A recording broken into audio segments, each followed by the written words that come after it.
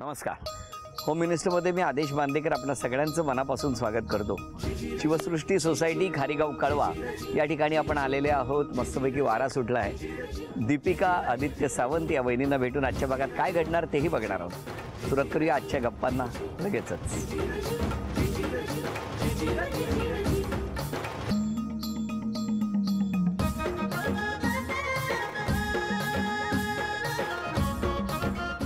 नमस्कार नमस्कार नमस्कार.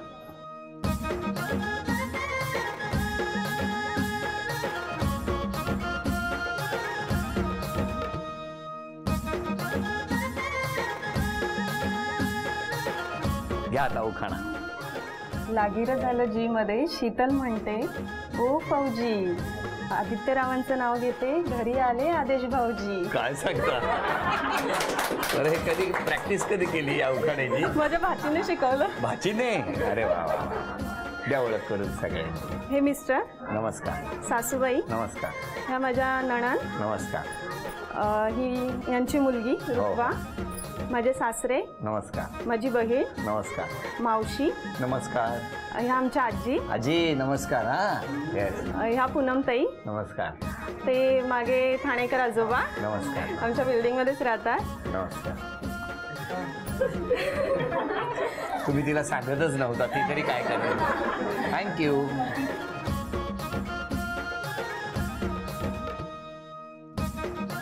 आणि आता सुरुवात करूया आजच्या गप्पांना. कुठलं बालपण? माझं इकडचंच खारेगाव. आणि तुमचं? माझं श्रीवर्धन. तुमचं गाव कुठलं? माझं रत्नागिरी. बरं आपण काय करता? मी हॉटेल मॅनेजमेंट केले. आता खारला लसूत्रा द इंडियन आर्ट हॉटेलमध्ये ॲज अ हाऊसकीपिंग मॅनेजर म्हणून काम करतो. कसं होतं हो शाळेत असताना तुम्ही? खूप मस्त. शाळेत असताना खोडकर पण पहिली ते सातवीपर्यंतच्या पिरियडमध्ये अभ्यासात पण हुशार होतो. हां. सातवी नंतर थोडा खोडकरपणा वाढला आणि अभ्यासात मागे पडत गेलो. कशामुळे वाढतो हा सातवी नंतर? मित्रमंडळी त्यांना दोष देऊन फायदा नाही मी पण खोडकरच होतो. पण खोड्या काय कशा प्रकारच्या असायच्या? खोड्या म्हणजे शाळेत लेक्चर चालू असताना काहीतरी आवाज करणं. कसं आवाज करायचे? काहीतरी बेंच वाजवणं किंवा रबर बँडनी कागदाचे बोळे एकमेकांना मित्रांना मारणं अशा प्रकारचे खोडकरपणा. आणि नाव मित्रांवरती घ्यायचे स्पेशली काय? म्हणजे आपण आपण खोड्या करायच्या आणि शांत राहायचं म्हणजे जेणेकरून जो हसतोय तो फसेल आणि तो शिक्षकांचा मार खाईल. पण चेहऱ्यावरच लिहिलंय का ते? तुम्ही अशा कधी खोड्या केल्यात का हो लहानपणी? एवढ्या नाही. मग? यांच्यासारख्या नाही केल्या. नाही का? पण मला सांगा अभ्यास खूप केला? हो म्हणजे होती तशी अभ्यासात. तुम्ही हॉटेल मॅनेजमेंट करायचं असं ठरवलं होतं. हो माझा पहिल्यापासून निर्णयच होता तो हॉटेल मॅनेजमेंट करायचा. मग बारावी सायन्स करून नंतर मग त्या क्षेत्रामध्ये गेलो. तिकडे पण आम्हाला चार वेगवेगळ्या डिपार्टमेंट होत्या. किचन सर्व्हिस फ्रंट ऑफिस आणि हाऊसकीपिंग पण मग मला पहिल्यापासून असा टापटीपपणा घरात घर सगळं व्यवस्थित ठेवणं या सगळ्या गोष्टींची आवड होती म्हणून मग मी ठरवलं की हाऊसकीपिंग हे एक असं डिपार्टमेंट आहे की जिकडे आपण करिअर करू शकतो. म्हणून तुम्ही हाऊसकीपिंगकडे वळला हो. आपण? मी अं, मला ब्युटिशियनची खूप आवड आहे. बर. रांगोळी काढणं किंवा नवीन नवीन पदार्थ बनवणं हे सगळं चालूच असतं. मग श्रीवर्धनला काय तुम्ही पिकनिकला गेले होते? नाही श्रीवर्धन नाही. ही हिचं शालेय शिक्षण श्रीवर्धनला झालं. त्यानंतर ही घरची परिस्थिती थोडी फायनान्शियल कंडिशन होती म्हणून ही मुंबईला मामाकडे आली. कुठे हो? अंधेरीमध्ये. काय झालं? तिथे असताना म्हणजे मी असंच जॉब म्हणून यांच्या हॉटेलमध्येच जॉईन झाले होते. कुठल्या? मी अंधेरीला सरोवर हॉटेल्स म्हणून होतो तिकडे जॉबला होतो. म्हणजे ही माझ्या अगोदरपासून होती ॲक्च्युली ही ही पार्ट टाईम म्हणून तिकडे जॉबला लागली होती. पार्ट टाईम जॉब करता करता ब्युटिशियनचा कोर्स पण करता म्हणून ती लागलेली आणि नंतर मी पण त्या कंपनीमध्ये जॉईन झालो ॲज अ हिचा बॉस म्हणून. पण आता घरात बॉस कोण आहे? आता तीच आहे बॉस मग तेव्हा तुम्ही बॉस म्हणून जॉईन झाले त्या कंपनीत हो. मग पुढे काय झालं? त्यानंतर ही अ, म्हणजे माझ्या डिपार्टमेंटमध्ये अशी जॉबला होती. नंतर मग ओळख वाढली. मला काय झालं? ओळख म्हणजे आता बॉस होते म्हणून थोडंसं घाबरून राहायचं वगैरे असंच. आणि बोलणं फोनवरती थोडंफार चालू असायचं. मीन्स हॉटेल रिलेटेड सगळं. आणि मग त्याच्यानंतर मग हळूहळू बोलणं वाढत गेलं. फोन्स वाढत गेले. आणि भेटायचं तर रोजच? ऑफिसमध्येच. अच्छा ऑफिसमध्ये. हा मग? मग त्याच्यानंतर आम्ही एकदा असं ठरवलं की आपण भेटूया करून ॲज अ फ्रेंड म्हणून मग आम्ही वाशीला एक मूवी बघायला गेलेलो. नोकरीला अंधेरीला? हा. भेटण्याचे ठिकाण वाशी. खारेगावला राहत होते ना. राहायला खारेगावला होते हे. तुम्ही अंधेरीला? हो पण काय वाशीच ठरवलं?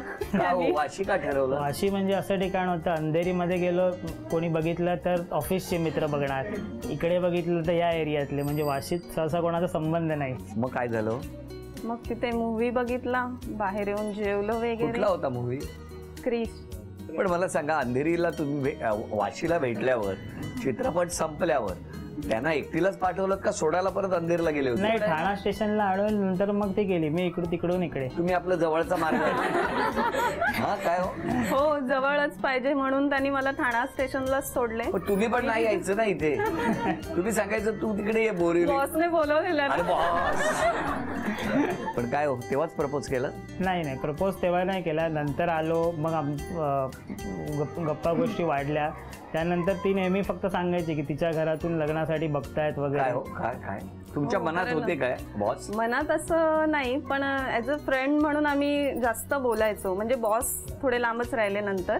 नंतर फ्रेंड म्हणून बोलायचो. मग त्याच्यामध्येच अं, म्हणजे घरून पण अं, मुलं बघणं वगैरे चालूच होतं. मग त्याच्यानंतर मी यांना सांगितलं. म्हटलं माझ्या घरून लग्नासाठी मुलं वगैरे बघतायत करून.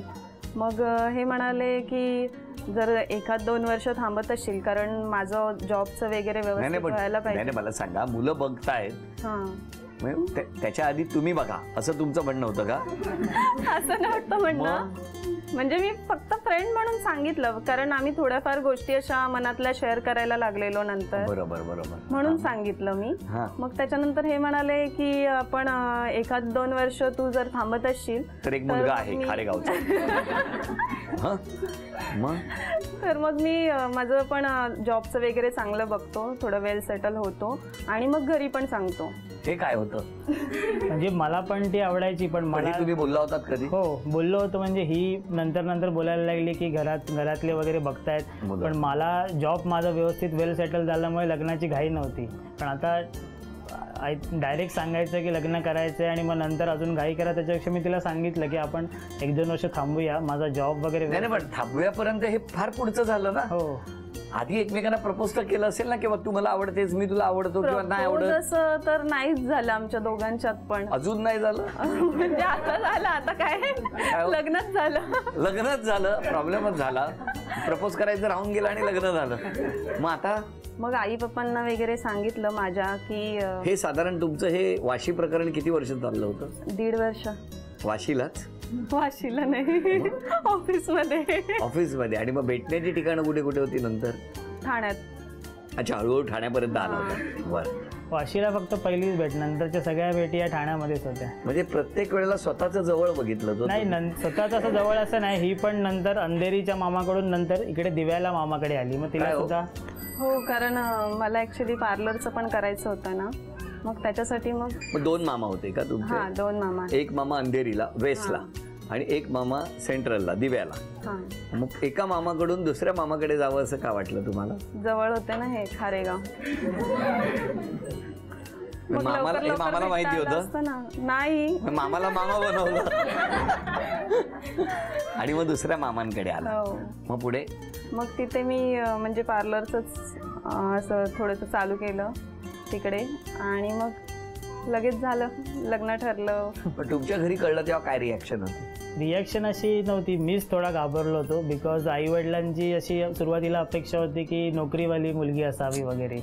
आणि माझं तसं मनात नव्हतं. मी पहिल्यापासून ठाम होतो की मला अशा कुठल्या मुलीशी लग्न करायचं होतं जी खूप गरीब घरातली असेल जिने कधी आयुष्य एन्जॉय केलं नसेल अशा मुलीबरोबर लग्न करून तिला लाईफमधल्या सगळ्या खुश खुशी द्यायच्या होत्या. हे माझं ठाम होतं. पण मी यांच्यासमोर कधी बोललो नव्हतो. मग नंतर ह्यांना कन्व्हिन्स करायचं कसं? मग मी थोडं बहिणीला मध्ये घेतलं. की तू सांग म्हणून.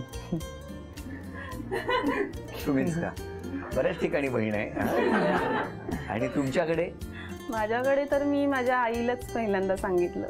मग आईची काय रिॲक्शन होती? आईची रिॲक्शन असं काही नाही. बघत तर होतेच मुलं.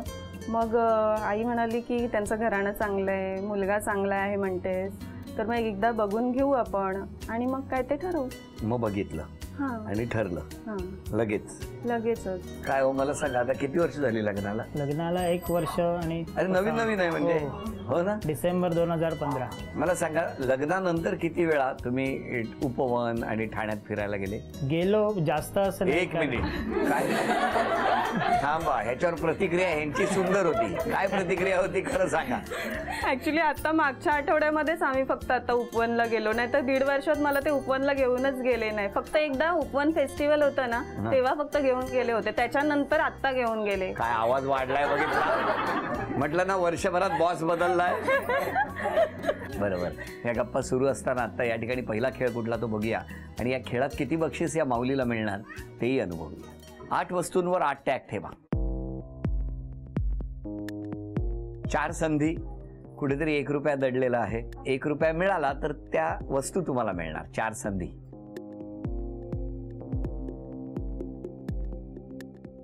वीस रुपये. आता तीन संधी राहिलेत.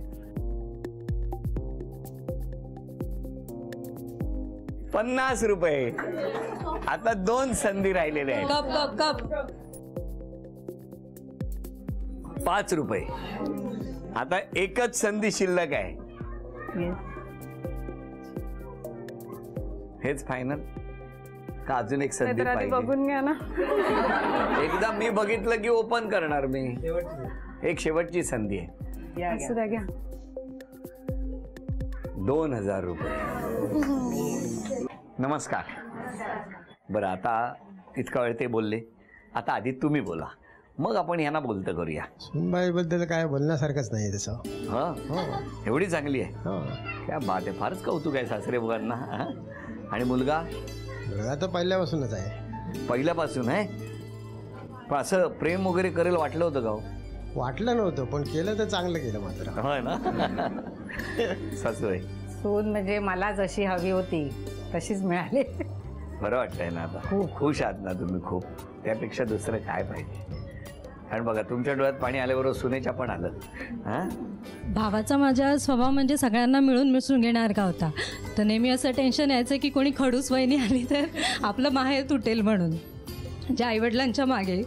पण नाही मला एक चांगली मैत्रीण भेटली आणि आईवडिलांची काळजी नाही आहे आता. उलट त्याच्या लग्नानंतर मी असं नेहमी म्हणायची की आधी माझ्या फेऱ्या जेवढ्या होत आहेत ह्याची बायको आल्यानंतर आपण एवढं यायला नाही पाहिजे. पण उलट माझ्या फेऱ्या दीड वर्षात खूप सांगता तुम्ही कुठे असता? मी अंबरनाथला असते. अंबरनाथ हां आणि ह्यांचं जेव्हा ठरलं तेव्हा भावाने पहिले मलाच सांगितलं. तेव्हा मी यू एसला होती पण आम्ही व्हॉट्सअपवर त्याने मला सांगितलं की दीदी असं असं आहे मला एक मुलगी आवडते. पण घरी माहिती होतं की आई पटकन लव्ह मॅरेजला नाही म्हणणार. तर मग असं ठरलं की मी आधी भेटते बघते. म्हणजे आता आईची चॉईस आपल्याला माहिती आहे ना तर मी आधी बघते. डायरेक्ट असं शॉक नको तिला. मग आम्ही भेटलो आणि मला ती आवडली वगैरे स्वभाव वगैरे पण म्हणजे भावाला जशी पाहिजे तशी. मग आईवडिलांना कन्व्हिन्स करून मग ते भेटले. म्हणजे म्हणजे आधी तुम्ही बघितलं मग आईला हा. म्हणजे त्यांचं ठरलं. ठरलं तेव्हा त्याने कोणाला सांगायचं. डायरेक्ट तो जसं मगाशी म्हणाला की मी हिंमत नव्हती सांगायची पण त्याने मला सांगितलं. असं बाहेरून नाही आम्हाला कळलं की त्याच्यामुळे. आता खुश आहात. हो खूप खुश आहे. आजी काय कसा आशीर्वाद देणार? सून माझी चांगली आहे. हो. हा, अगदी प्रेमळ आहे सगळ्यांना मिळून सून आनंदानं राहते. किती कौतुक आहे. हो ना? मला तुम्हाला विचारायचं की आज क्षमा मागायची असेल तर कोणाची मागाल? आणि धन्यवाद द्यायचे असेल तर कोणाला द्या? धन्यवाद म्हणजे आई वडिलांनाच आणि माझ्या मामा मामींना ज्यांनी मला लहानाचं मोठं केलं त्याच्यामुळेच तर मी ही सगळी दुनिया बघते आणि क्षमा मागायची तर मी माझ्या सासू सासऱ्यांची मागेन. बिकॉज आता माझं नवीन पार्लर चालू होणार आहे. त्याच्यामुळे मला घरी वेळ देता येत नाहीये. सगळीकडे धावपळच चालू आहे. तर मी लवकरच ते सगळं सेट करेन आणि माझ्या फॅमिलीला पण तेवढाच वेळ देईन. स्वतःचं पार्लर सुरू करताय? हो. वा वा. शुभेच्छा तुम्हाला खूप. थँक्यू आणि तुमचं काय म्हणणं आहे? करू द्या ना. हो मग. पहिलं ते चाललं पाहिजे व्यवस्थित. पहिलं सासूबाईंचंच फेशियल करा. नाही ते ते चालूच आहे. बरं. तुमचं काय म्हणणं आहे? आज क्षमा मागायची तर कोणाची आणि धन्यवाद मागायचे तर कोणाला? क्षमा मागायची तर आई वडिलांचीच कारण आजवरच्या एवढ्या आयुष्यात कधी चुकून मागून त्यांना कधी हर्ट केलं असेल तर आज सर्वांसमोर माफी मागतो. आणि आनंद अं, धन्यवाद. धन्यवाद द्यायचे असेल ते सुद्धा आई वडिलांनाच बिकॉज लहानपणापासून त्यांनी माझे सगळे हट्ट पुरवले आणि कुठल्याही गोष्टीला कधी नाही नाही म्हटलं. त्याच्यामुळेच मी आज माझं बालपण आनंदाने एन्जॉय केलं आणि अजूनही ते प्रत्येक माझे हट्ट पुरवतात. आणि बहीण? बहीण तर असतेच. ती तर एक जवळच्या मैत्रिणीसारखीच होती म्हणजे तिच्याशीच पहिले मी सगळ्या गोष्टी शेअर केल्या. आणि इवन तिचे मिस्टर आज इकडे नाही आहेत पण ते सुद्धा मोठ्या भावासारखंच मला सपोर्ट करतात. या ठिकाणी आत्ता एक छोटासा खेळ आहे. वेळ आहे दोन मिनिटाची. आणि या दोन मिनिटामध्ये जर अकरा वस्तू आणल्या म्हणजे पाच वस्तू आणल्या तर पहिलं बक्षीस वहिनींना मिळवून देणार. सात वस्तू आणल्या तर दुसरं बक्षीस देणार. आणि अकरा वस्तू आणल्या तर तिसरं बक्षीस मिळवून देणार वेळ दोन मिनिटाची. आणि काय रंग देऊया की काय करूया आपण? तुम्ही सांगा. काय ठरवून ठेवलंय तुम्ही? अक्षर पण चालेल. कुठलं बहिणीने सांगितलं ना पची प्रॅक्टिस केली. हा? प्रज्ञाचा प. हो. चला प. वेळ सुरू झाली. परत आहे ना इथे असेल एका बघा वेळी सिलेंडर एकच वरती. वस्तू आणावी. एक ठेवा. Plate plate. तिकडे हे पेला आहे ग्लास झालं पेला आहे. परत. परत आणा परत. परत. आणि एका ग्लासामध्ये पाणी पण आणा. तीस. सिलेंडर परत. Cylinder cylinder. अक्षर तुम्ही दिलं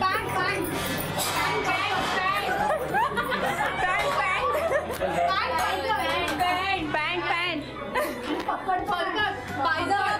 पायजमा स्टुलावर आहे आतमध्ये छोट्या बेडरूममध्ये पायजमा स्टुलावरती आहे. एक मिनिट पूर्ण झालं. एक मिनिट राहिलंय. पिन पिन छोट्या टेबलवरती पिन आहे. छोट्या टेबलवरती पिन आहे. पेन्सिल पेन तिकडे. नाही आहे. पर्स आणा माझी पर्स पर्स. दरवाजाच्या मागे. पैसे पैसे गणपतीच्या इथे चिल्लर आहे बघा गणपती. तीस सेकंद राहिली तीस. पीठ पीठ पावडर. पीठ. पकड पकड पकड. पाणी पाणी. पाणी. पाणी पाणी पाणी. वीस सेकंद राहिली वीस.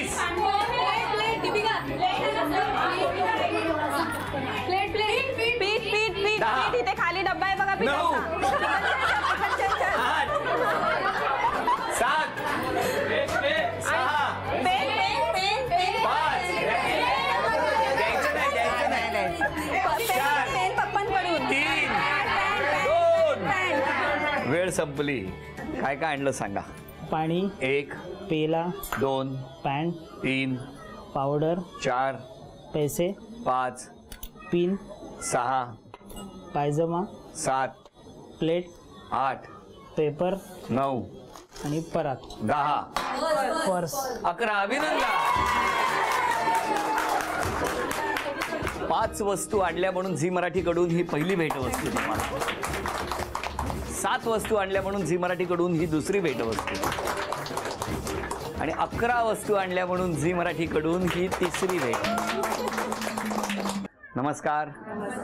आता मला तुम्हाला विचारायची आहे तीन अपेक्षा सांगावं मिस्टरांकडून. पहिली अपेक्षा तर ऑफिसवरून लेट येतं ते थोडं लवकर यावं घरी आणि फॅमिलीसाठी पण वेळ द्यावा.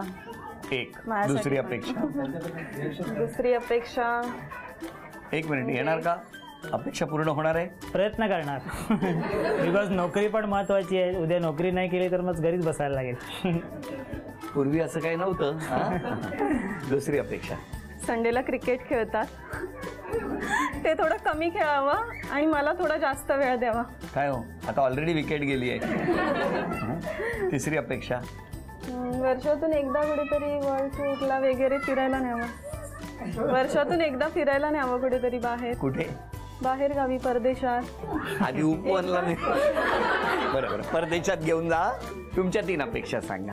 माझ्या म्हणजे हिने एकतर स्वतःची स्वतः काळजी घ्यायला शिकलं पाहिजे. तिची धावपळ भरपूर असते पण ती ह्या गोष्टीमध्ये स्वतःच्या तब्येतीकडे दुर्लक्ष करते. दुसरी गोष्ट आईवडिलांची आत्तापर्यंत जशी सेवा कर तशी शेवटपर्यंत करावी. बिकॉज मेन माझी अपेक्षा तीच आहे तिच्याकडून. नक्की. आज म्हणजे दाखवण्याचा कार्यक्रम सुरू आहे असंच चाललंय. तिसरी अपेक्षा? तिसरी थोडा चिडचिडपणा कमी करून शांततेने सगळं सांभाळून घ्यावं. राग जरा कमी करा माऊली. तेवढीच एक बारीकशी इच्छा आणि अपेक्षा आहे त्यांची हा? हां. चला या अपेक्षा त्यांच्या पूर्ण हो आणि लवकरच सुंदरसं पार्लर जे पूर्ण करण्यासाठी कुटुंब झटत आहे या माऊलीच्या या प्रयत्नांना यश येवो त्यासाठी ईश्वराचरणी मागणं करूया. या संपूर्ण कुटुंबाच्या सुखासाठी प्रार्थना करूया. या दोघांनाही शुभेच्छा देऊया आणि या शुभेच्छांबरोबरच देऊया झी मराठीकडून ही भेटवस्तू तुमच्यासाठी. थँक्यू आणि वहिनींना सेंको गोल्ड अँड डायमंड्स तर्फे ही सोन्याची नथ आम्ही Senco gold and diamonds craftsmanship for you. Thank you ऐंशी वर्षाची कारागिरी. आणि वहिनींना तथास्तू पुणे यांच्याकडून ही पैठणी. अभिनंदन.